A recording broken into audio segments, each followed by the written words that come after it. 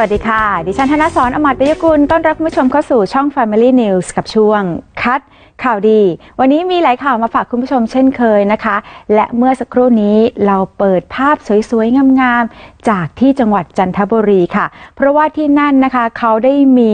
กิจกรรมเกี่ยวกับธรรมชาติให้เราได้เลือกศึกษากันค่ะ กิจกรรมแรกที่คัดข่าวดีของเราส่งทีมลงไป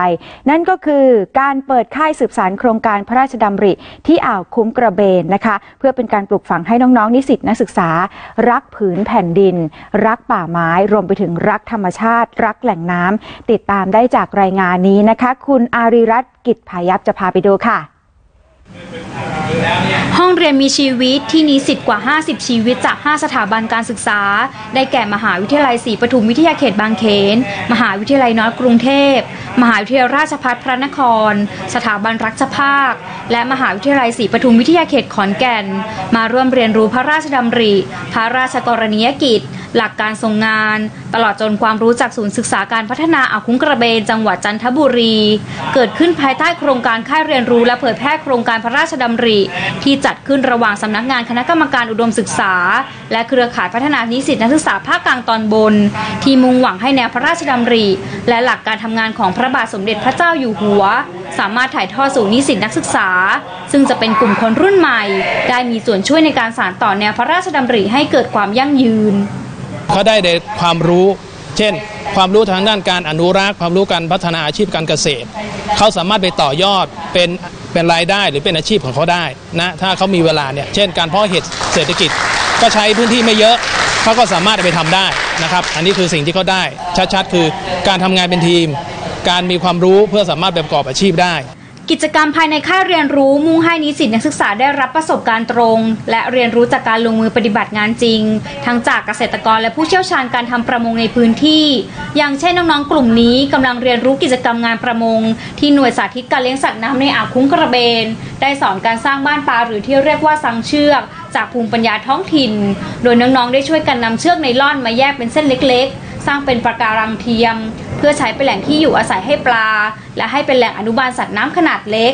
ส่วนกลุ่มนี้ร่วมกันทำบ้านหอยหรือที่เรียกว่าอีแปะ โดยวิธีการหยอดปูนซีเมนต์ที่ผสมทรายและน้ำลงบนเชือกที่วางไว้ในระยะห่างที่เท่ากัน ให้มีลักษณะคล้ายเหรียญ จากนั้นรอให้ปูนแห้งและนำไปแขวน เพื่อให้เป็นที่อยู่อาศัยของหอยนานาชนิด ในทรัพยากรไทยในปัจจุบันปะการังแท้ได้สูญหายไปแล้ว ซึ่งเราต้องสร้างบ้านให้ปะการัง อยู่ใหม่ก็คือต้องทำจากปะการังเทียม ซึ่งเราต้องใช้วัสดุธรรมชาติ หรือของที่เหลือใช้นะคะมาทำอย่างเช่น เชือกเราก็สามารถดัดแปลงมาทำเป็นปะการังเทียมให้สัตว์น้ำได้อยู่ได้ค่ะซึ่งปะการังเทียมก็เป็นเสมือนบ้านหลังที่สองของเขาซึ่งถ้าไม่มีปะการังเทียมสัตว์น้ำก็อาจจะสูญหายไปได้ค่ะก็ถือว่าเป็นโอกาสดีที่เรานั้นจะได้นำความรู้ที่เราได้รับเนี่ยไปเผยแพร่ต่อให้กับคนที่สนใจ อยากที่จะ ช่วยให้สัตว์น้ำเนี่ยได้มีบ้านหลังใหม่อย่างเงี้ยค่ะ ก็ถือว่าเป็นประสบการณ์ที่ดีมาก ก็ขอขอบคุณโครงการนี้ค่ะ ส่วนการเรียนรู้และเที่ยวชมเส้นทางศึกษาธรรมชาติป่าชายเลนอ่าวคุ้งกระเบน ที่มีความหลากหลายของชนิดพันธุ์ไม้ สัตว์น้ำและสัตว์หน้าดินที่ชุกชุม นอกจากความเพลิดเพลินที่ได้รับแล้ว ทุกคนยังจะได้ความรู้เรื่องของการกำเนิดอ่าวคุ้งกระเบน สภาพพื้นที่ป่าชายเลน ความสำคัญของป่าชายเลนด้วย นอกจากนี้การพายเรือคันยักษ์ในระยะทางกว่า 2 กิโลเมตร ยังเป็นการสร้างความสามัคคีระหว่างเพื่อน ไปพร้อมกับการได้สัมผัสและเรียนรู้ระบบนิเวศ และความสมบูรณ์ของป่าชายเลนอย่างใกล้ชิดและนี่ถือเป็นอีกหนึ่งกิจกรรมที่เปิดโอกาสให้น้องได้เรียนรู้เศรษฐกิจพอเพียงด้านการเลี้ยงชนรงหรือพึ่งชนิดหนึ่ง ที่มีส่วนช่วยในการผสมเกสรซึ่งจะมีส่วนช่วยในการเพิ่มผลผลิตทางการเกษตรให้กับเกษตรกรค่ะ ส่วนฐานการเลี้ยงชนโรงเพื่อการเกษตรของศูนย์เรียนรู้การเกษตรพอเพียง ของกลุ่มผู้เลี้ยงชนโรงบ้านต้นเลียบตำบลรำพันอำเภอบ้านใหม่จังหวัดจันทบุรี น้องๆจะร่วมกันทำรังเลี้ยงชนโรงจากแผ่นไม้ที่แข็งแรง จากนั้นเจาะรูตรงกลางด้านหน้าเพื่อเป็นทางเข้าออกของชนโรง จากนั้นนำรังชนโรงที่ได้ไปตั้งให้ครอบคลุมพื้นที่ เพื่อประสิทธิภาพในการหาอาหาร และผสมเกสรในอัตราส่วนสีรังต่อไร่ เพราะการเลี้ยงชนโรงจะช่วยผสมเกสรให้กับพืชและผลไม้ในสวน ไม่ว่าจะเป็นเงาะ ทุเรียน ระกำต้นกาแฟและข้าวโพดซึ่งนอกจากจะช่วยเพิ่มผลผลิตทางการเกษตรแล้ว พ่อพันธุ์แม่พันธุ์น้ำผึ้งและชัน ที่ได้จากการเลี้ยงชนโรง ยังจำหน่ายสร้างรายได้ให้กับผู้เลี้ยงอีกด้วยผมคิดว่าเป็นสิ่งที่ดีนะครับ เพราะว่าน้องๆอะถ้าเกิดอนาคตอะถ้าเกิดไม่มีใครปลูกอาหารให้เขานะครับ น้องๆก็ยังได้รู้ว่าเนี่ยที่นี่ทำอะไรยังไงแบบไหนจะได้ไปปรับใช้กับชีวิตยังไง แบบว่าดูแต่ภาพอย่างเดียวมันก็ไม่ได้ลงมือทำมันก็ไม่มีประโยชน์นะครับสำหรับโครงการเนี้ถือว่าดีมากครับ ชอบนะคะ เพราะว่าเราได้ลงมือทำจริง ได้ประสบการณ์จริงคือมันได้มาสัมผัสด้วยตัวเอง แล้วมันดีกว่าที่เราดูในสารคดีหรืออ่านในหนังสืออะค่ะ คือแบบนี้มันหนูว่ามันดีกว่าแล้วมันก็สนุกอะค่ะการที่เราได้มาเรียนรู้การปลูกต้นกาแฟในครั้งนี้ ก็จะสามารถให้เราเนี่ยเผยแพร่ให้กับคนอื่นได้ครับ ก็คือต้องการจะถ่ายทอดให้เยาวชนรุ่นใหม่อะครับ ได้รู้ว่าพระบาทสมเด็จพระเจ้าอยู่หัวของเราเนี่ยทรงทำอะไรให้กับประเทศไทยของเราบ้างอะครับ ก็อยากให้เยาวชนรุ่นใหม่ในมหาวิทยาลัยต่างๆ ที่เป็นสถาบันอุดมศึกษา ได้เข้ามาเรียนรู้แล้วก็นำโครงการในพระราชดำริของพระบาทสมเด็จพระเจ้าอยู่หัวครับ ไปเผยแพร่ให้กับเพื่อนๆในมหาวิทยาลัย แล้วเมื่อเราเขาสำเร็จการศึกษาไปเนี่ยเขาก็จะได้เอาความรู้นี้ไปใช้กับบ้านเกิดของเขาเพื่อพัฒนาบ้านเกิดของเขาให้เจริญทัดเทียมเข้ากับในเมืองหลวงนะครับ เยาวชนกลุ่มนี้ถือเป็นเยาวชนต้นแบบที่จะทำหน้าที่ในการถ่ายทอดองค์ความรู้ไปสู่เยาวชนในสถาบันการศึกษาของตน หลังจากการเรียนรู้ เพื่อการปลูกจิตอาสา จิตสำนึกที่ดี และปลูกจิตสาธารณะ ตลอดจนการปลูกจิตวิญญาณในการสืบสารและน้อมนำพระราชดำริ และหลักการทรงงานของสมเด็จพระเจ้าอยู่หัว ไปใช้ในการดำเนินชีวิตอย่างถูกต้อง ด้วยวิธีการของคนรุ่นใหม่ที่จะสอดแทรกเข้าไปเพื่อให้เข้าถึงทุกคนได้ อย่างที่พวกเขาได้เข้ามาสัมผัสในครั้งนี้ธนุพลหนูนวลถ่ายภาพ อาริรัตน์กิจพายัพทีมข่าว Family News รายงาน ยังอยู่ที่เรื่องของการสำนึกรักป่าไม้นะคะ เพราะว่าเรายังมีอีกหนึ่งกิจกรรม ที่ได้ร่วมกันสร้างฝายชะลอน้ำถวายพ่อหลวงค่ะ ซึ่งนอกจากน้องๆจะได้เรียนรู้ และมีจิตสำนึกในการหวงแหนทรัพยากรป่าไม้แล้วนะคะ ยังได้เป็นส่วนหนึ่งในการพัฒนาป่าเสื่อมโทรมให้กลับมามีความอุดมสมบูรณ์ ซึ่งก็จะส่งผลประโยชน์ ต่อสัตว์ป่าและชุมชนได้อย่างยั่งยืนค่ะ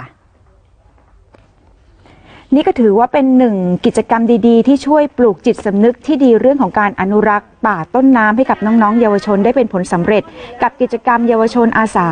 สร้างงานเพื่อในหลวง ภายใต้โครงการค่ายเรียนรู้ และเผยแพร่โครงการพระราชดำริ ที่จัดโดยสำนักงานคณะกรรมการอุดมศึกษา ร่วมกับเครือข่ายพัฒนานิสิตนักศึกษาภาคกลางตอนบนค่ะ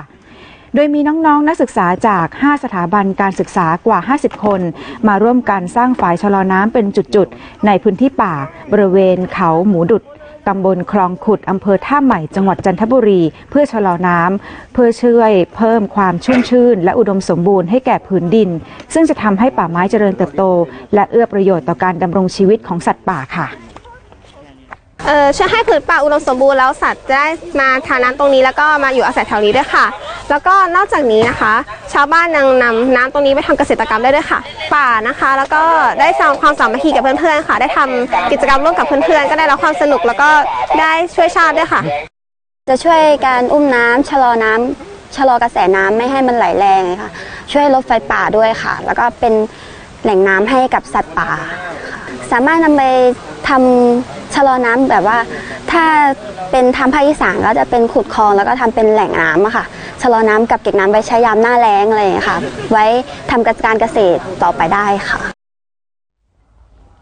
ยังมีอีกสถานที่หนึ่งนะคะ ที่ต้องบอกเลยว่า ถูกอกถูกใจคุณผู้ชมหลาย ๆ คนแน่นอนค่ะ เพราะว่านอกจากที่นี่จะมีสะพานไม้ให้เดินศึกษาเส้นทางธรรมชาติ ทั้งพันไม้และก็สัตว์นานาชนิดนะคะ บริเวณป่าชายเลนแล้วที่นี่ยังมีกิจกรรมที่ช่วยเพิ่มสีสันให้การเดินเส้นทางศึกษาธรรมชาติไม่ดูเป็นเรื่องที่น่าเบื่ออีกต่อไปค่ะ จะเป็นที่ไหนและจะน่าสนใจอย่างไรนะคะ เดี๋ยวเราจะไปติดตามจากรายงานของคุณอาริรัตน์กิจพายัพค่ะ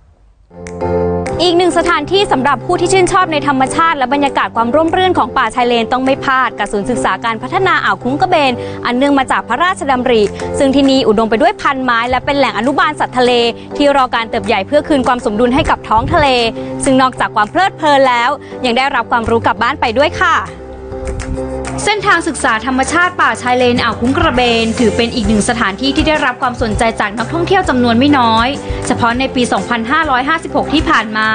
มีนักท่องเที่ยวเข้ามากว่า 600,000 คน นี้เป็นส่วนหนึ่งของศูนย์ศึกษาการพัฒนาอ่าวคุ้งกระเบนอันเนื่องมาจากพระราชดำริ โดยนักท่องเที่ยวสามารถใช้สะพานไม้ซึ่งมีระยะทางประมาณ 1,600 เมตร ในการเดินศึกษาธรรมชาติป่าชายเลน ที่มีความหลากหลายของชนิดพันธุ์ไม้ และชุกชุมไปด้วยสัตว์น้ำสัตว์หน้าดินและนกนานาชนิด ซึ่งแต่ละจุดจะมีความรู้ติดอยู่ให้ได้ทราบเป็นระยะระยะ ตลอดระยะเส้นทางเดินเนี่ยก็มีอยู่ทั้งหมด 13 ศาลานะคะ ซึ่งในแต่ละศาลาเนี่ยเราก็จะอธิบายเรื่องราวของอป่าชายเลน ระบบนิเวศของป่าชายเลนนะคะ แล้วก็ประโยชน์ของป่าชายเลนที่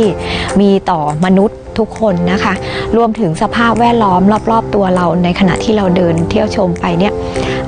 มันก็เป็นสิ่งที่เราสามารถที่จะ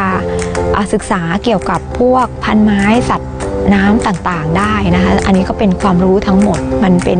ลักษณะคล้ายๆ กับพิพิธภัณฑ์ธรรมชาติที่มีชีวิตนะคะ ตลอดสองข้างทางเต็มไปด้วยต้นไม้นานาพันธุ์ ซึ่งต้นไม้บางต้นจะมีป้ายชื่อวงติดกำกับเอาไว้ และบางจุดจะมีการให้ข้อมูลเกี่ยวกับพันไม้ต่างๆ ทั้งต้นแสมนลำพูกงกลางว่ามีความพิเศษ หรือมีลักษณะเด่นอย่างไร ขณะเดียวกันนักท่องเที่ยวยังจะได้เห็นสัตว์น้ำตัวเล็กๆ เช่นปลาตีหรือปูแสมที่พากันออกมาต้อนรับผู้มาเยือน ซึ่งนักท่องเที่ยวก็จะได้รับความรู้ทางด้านระบบนิเวศวิทยาป่าชายเลนในรูปแบบพิพิธภัณฑ์ธรรมชาติที่มีชีวิต เพราะพื้นที่ตรงนี้สามารถมองเห็นบริเวณปากอ่าว หรือมองบริเวณทะเลได้หมดเลยครับผมแล้วก็อีกที่หนึ่งที่อยู่ใกล้ ๆ กันเลย ก็จะเป็นการพายเรือคายักแล้วก็จะเป็นหอหอสังเกตการดูเรือนยอดไม้ครับผมซึ่งสามารถดูบริเวณอ่าวคุ้งกระเบนได้เกือบทั้งหมดเลยครับผม สำหรับจุดสำคัญที่ถือเป็นไฮไลท์ของที่นี่คือศาลาชมวิวที่ยื่นออกไปในอ่าว สามารถมองเห็นแนวป่าชายเลนและทิวทัศน์ของอ่าวคุ้งกระเบน ที่มีพื้นที่กว่า 4,300 ไร่ ซึ่งจะมีต้นกงกลางใบเล็กและกงกลางใบใหญ่ ที่ขึ้นอย่างหนาแน่นสมบูรณ์ตามธรรมชาติ อีกทั้งนักท่องเที่ยวยังจะได้ชื่นชมวิถีชีวิตของชาวบ้าน ในการประกอบอาชีพประมงชายฝั่งอีกด้วยสนุกมากเลยครับ ก็ได้ประสบการณ์อีกแบบหนึ่งครับ ที่นี่ไม่น่าเบื่ออย่างที่คุณคิดนะครับ มีกิจกรรมมากมาย แล้วก็ให้ความมีความรู้ต่างๆที่ที่สามารถให้ให้ความรู้แก่น้องๆทุกคนได้ครับ